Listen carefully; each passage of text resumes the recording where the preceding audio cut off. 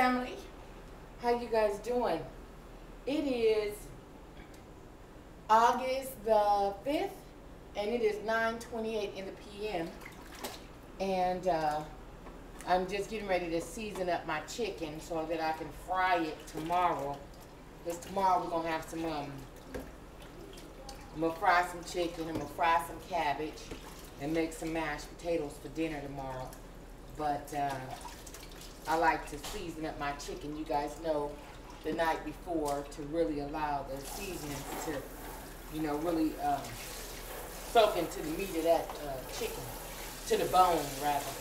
But I came on right quick because I wanted to talk to you guys about something. Um, you guys know by now that I went to um, R&B Live yesterday. Y'all, I had a, oh my God. We had so much fun yesterday. It was um, truly unbelievable. I mean, we had a ball. I'm taking, babe. We had a good time yesterday. And, um, so, um, but I kind of wanted to talk to you guys about that a little bit because I truly feel a particular kind of way today. Um, family, how about I saw, um, I saw one of the girls that I went to school with. Okay, we went to, I want to say from say the seventh through the ninth grade together, and um, I saw her yesterday. And in fact, she kind of sat right in front of us. Um, we were running late, of course. Me and Kim, we always late. We always running late when it's time to get up, get out, and get going. We're always the ones that are running late. So my auntie and them, they always go ahead of us and go and get the spot where we're gonna sit at. And then, um, you know, I'm always the one that bring that extra ice and whatever else everybody forgot from the store. I um usually the one that go and pick up all the extra stuff. Well, anyway, when I got there, my auntie and them had us a really, really good uh, spot, real cool spot, and um, to my surprise, right in front of where we were sitting at was um, this girl that I went to school with. Well, anyway, you know, I never forget her face, especially when, you know, we've met and, you know, we chopped it up or whatever you, and by us going to school together, you know, when you're kids, you just never forget those years of school and what transpired in high school and middle school and or junior high, as some people would call it, or whatever. Well, anyway, back in high school, in in middle school, I was always a fat kid. Always. I was always one of the biggest. I was always the ones that was low key picked last.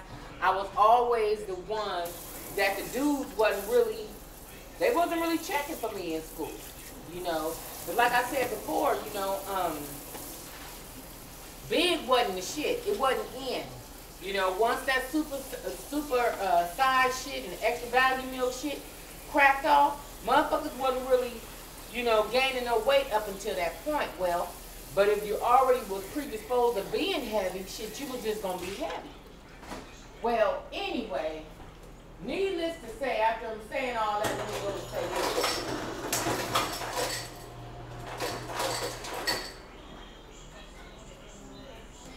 Anyway, so I runs into her, and I knew her dead on. As soon as as soon as I looked down right in front of her, boom, she was sitting right there. So I knew who she was straight from the start. So anyway, I looked and I didn't say anything. I just looked and I was like, huh, I know her. Right off the top, I called her name out like instantaneously. Instantly, I was like, "Oh, that's such and such." You know, I'm not gonna, I'm not gonna put her name out there whatever. But I knew right off the top that it was the girl from school. And in school, you know, um, like I said, I was always a big kid, a rather fat kid. So, you know, the girls that were skinny, they wasn't really, you know, but I, they knew I whooped their ass though, because one thing about me, I was a fighter in school.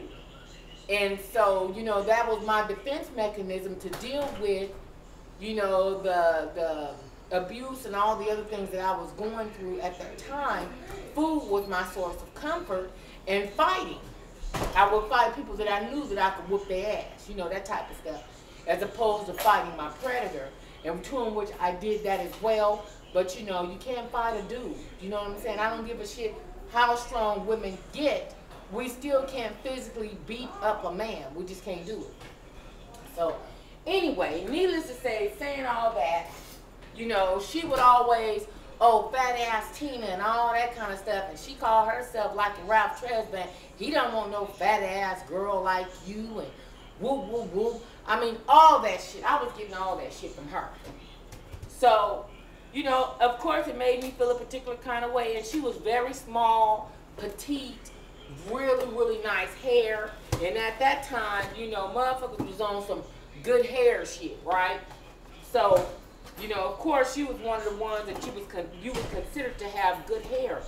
Um, her mama was like a gypsy. You know, her mama was like Palestinian or some shit like that. You know what I'm saying? You know, I don't know. We called it gypsy. You know, that's what we used to say when we was in school. But you know, at the time, you know, I didn't I didn't really know to get down really. But her mom was like that. So you know, she was like, you know, mixed. With, I don't know exactly what all she mixed with, but she, you know, her mom was one of them. But you know, we used to call her, you know, say gypsy or whatever. So, and her dad was all black. So you know, of course, with with that blend right there, you know, of course you're gonna, you know, have some really really nice hair. So, anyway, um, New Edition is, is what was hot at the time. And you know, we all used to, you know, be on some Candy Girl shit and you know, and Ralph Tresvant and all that other shit. Well, you know, she would always make me feel something by, you know, Ralph don't want no fat ass girl and look how fat you are and how you get so fat and all that kind of stuff, y'all. Well, excuse me. Last night, well, yesterday rather, when I saw her and I looked, okay, now mind you, she was pregnant, okay, but didn't you have a child in high school, like when we was in, you know, high school or whatever, you had a child before the 12th grade, I believe, um, if I'm not mistaken. You know, yeah, she was one of the real pretty ones at school and shit, but you know, you know, all the dudes wanted to get at her and shit, so she got pregnant rather early, you know, in, in, in life or whatever. And so, but still, you know, by her being one of the cute girls, you know, they low key get a pass for what the fuck they do. The rest of us or whatever, we had to work hard for our little shit, but the little cute ones, you know, they had some passes that we didn't qualify for. So when I saw that ass last night, now mind you, you know Auntie is like 40 years old. I'll be 41 September 10th. So, nigga, if I'm 40, your ass is 40, 41 years old as well. Because if, I, if I'm not mistaken, I believe she's a little bit older than me.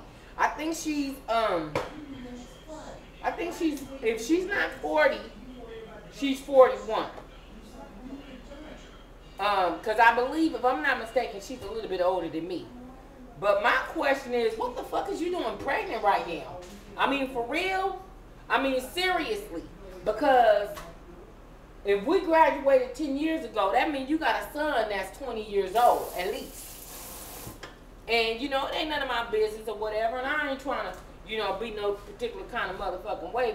But however, though, when you made me feel a certain kind of way in school, and talked about me and talked about my weight issues and shit. But yet I'm seeing your ass, your 40 something motherfucking years old, and you sitting up here pregnant, chick.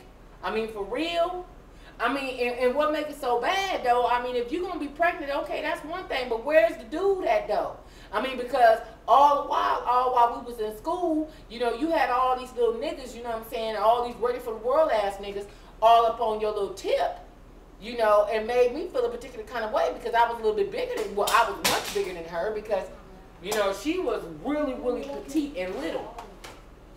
Back then, she had to be about maybe, because now she's gotten a little bit more height. So I'm five five, so she's probably about five three, five two, five three. I'm still just a little bit taller than her. But uh, Chicky was every bit of 200 and something. I mean, I understand you pregnant, but you was like every bit of 220, 225, something like that. But you know, I'm the motherfucker that you talked about in school and made me feel, you know, a certain kind of way because I was fat and all that shit. And don't nobody want you and you know, who gonna take that bitch to the prom? I ended up not going to the prom. You know, I didn't go to my prom family. I didn't go. You know, and and but uh but still here your ass want to treat me all this and that and you still out here 40 fucking years old and having kids? I mean shit, where they doing that shit at? Now bitch, you ain't no motherfucking Demi Moore now. Demi Moore and them, yeah, they can go ahead on and have kids 35, 40 motherfucking years old. But at a certain age, when your income can't, can't really handle all that, you need to sit your motherfucking ass down, get a Norplant motherfucking IUD, uh, Ortho-Novum 777, Paragard, bitch, Mirena. Uh, all that shit is on the market to get that, to handle that. You know, at that at a, at a certain age, in my opinion, no. Now, unless you got a husband and all that, I didn't see no rings. But um, unless you got a husband and all that shit, bitch, uh, no, that is a negative, a serious negative. Hi. My baby is down here at my feet, y'all. I be damn near about to step on her every day. I mean, she she follows me all around. It's my baby though. But shit.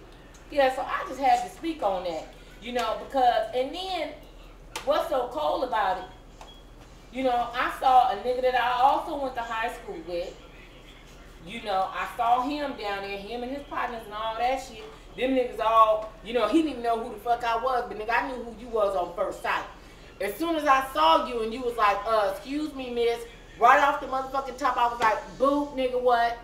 I'm cool. Because I remember all y'all motherfuckers used to be in the quad and used to talk about me and talk about how fat I was and all that old type of shit and brace face and all that shit because I had braces and all that. Okay, but now that I'm in my 40s, y'all motherfuckers is checking for me on my Facebook. That ain't how the game goes. That's not how the game works. I'm not one of them. Fuck that. You're not gonna treat me no type of way. And then now that you see that the bitch done evolved and then grew into all of that shit, and now you wanna check for me? No, nigga, get gone. I'm cool. I'm cool. And just like I told old boy last night, I said, you know what? You don't even remember me, huh? You don't remember me. And so he was like, nah, I ain't never seen you before in your life. I said, no, yes, but you have though. But you really have. Because we went to school together. Uh, you was uh, hanging out with the basketball players and all that other shit. Y'all had y'all big ass Adidas goddamn tennis shoes on with the big ass shoestrings and all that other shit. Yeah, nigga, big ass gazelles and all that. Y'all was that nigga, three care, three finger motherfucking rings and Turkish ropes. Yeah, nigga, I remember you back then. I don't want nothing to do with your ass either. Let me just say that shit.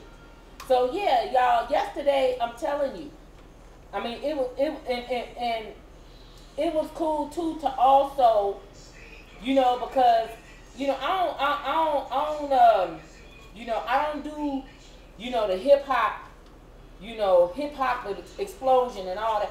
I don't do I don't do those type of shows because I don't want to be in a compromised position where I might just have to run at the end of the night.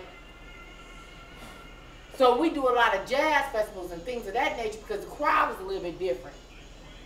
Now last night it was a mixture, okay? Now I think what saved us was the fact that Angela Winbush and Howard Hewitt and all that, so you know, Pistol Starter and Lil Boosie and all them, they ain't going to see them. So, but still we had Joe and Jon B and Case and all that other shit. So, you know, of course, you know, it's going to bring in, you know, a mixed crowd. Family. It was like I was straight out of Compton. I had a ball though. I have to say that I had a good ass time down there. I, oh my God. Family, we had a ball. We had a ball. I mean, from sun up to sundown, we was getting it in. I mean, like seriously getting it in. And it was like, it was, in my camp, it was about six of us. Six of, no, between six, and, yeah, about seven or eight, something like that of us. Okay, and so um, my auntie and cousins and all that stuff, and one of my girls and all that, and you know, so you know, we was like, look, guess what? Look, check this out. Um, we're going to go have us a good ass time, and which we did. We had a ball. I'm really, really looking forward to the next uh, get down. Um, this coming up week is going to be uh, the Long Beach Jazz Festival. Now, on that's going to be this coming up Friday, Saturday, and Sunday. Um, on Friday, it's going to be Ronald Isley and the Isley brothers. You know the ones that's living, of course. You know, and I guess he's gonna probably throw some, you know, extra niggas up in there, some background motherfuckers up in there.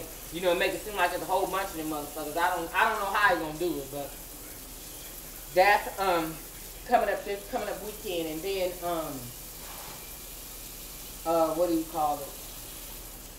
The O'Jays, Patti LaBelle, and some other folks is gonna be at. They're gonna be at um. What do you call it? They're gonna be at um in Universal City. Um, so family is just going down, and I mean it's summertime. I live for the summer. I live for the fun and all that kind of stuff. To have a good time. My auntie and my cousins and all of us, and we get together and we just have a ball. We do. We get together and we have a good ass time. So, anyway.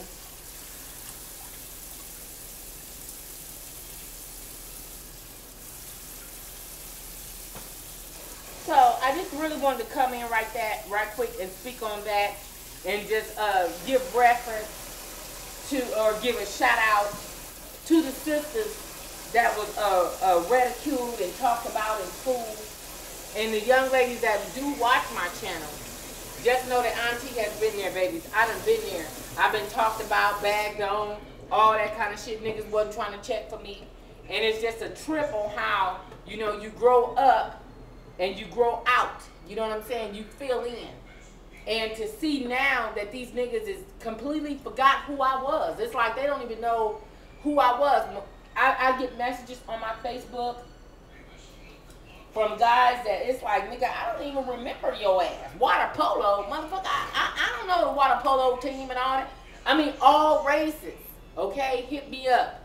Now, if they ran across my Facebook or ran across my YouTube or, you know, went on classmates.com and saw a couple of my pictures on there, and it's like now they really trying to check for me, like on some you know, can you get us some tickets to get in type of shit. Nigga, if y'all don't knock it off, I mean, if y'all don't not get the fuck off, I'm cool. I'm cool. Y'all wasn't cool with me then, then see you later, bye now. I'm cool. Straight up. And just like I tell my daughter, you know, too, because my daughter has a weight problem, you know, and, but my daughter is the cutest thing ever. I mean, beautiful, beautiful features, you know very, very beautiful features. And you know, um, you know, kids want to treat her a particular kind of way because she's heavy. But like I tell my baby all the time, oh, but you're gonna grow up. You're going to grow up and you're gonna grow out. And all of them motherfuckers that don't want to pick you and they're picking you last and all that and poking fun and all that shit and talking about, oh, okay, the little boy groups and shit ain't checking for you. Don't you worry about. Oh, don't you worry. Just keep living. Because it turns around. It truly does.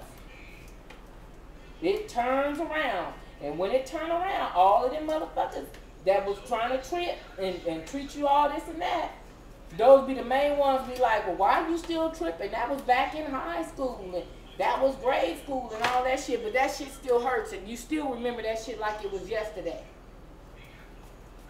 I know I ain't the only one, goddamn it.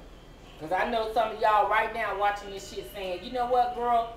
I am so with you on that shit. So, yeah. Huh. Just know that shit. So, anyway, family, let me um, go on and get up off of this one. And, uh,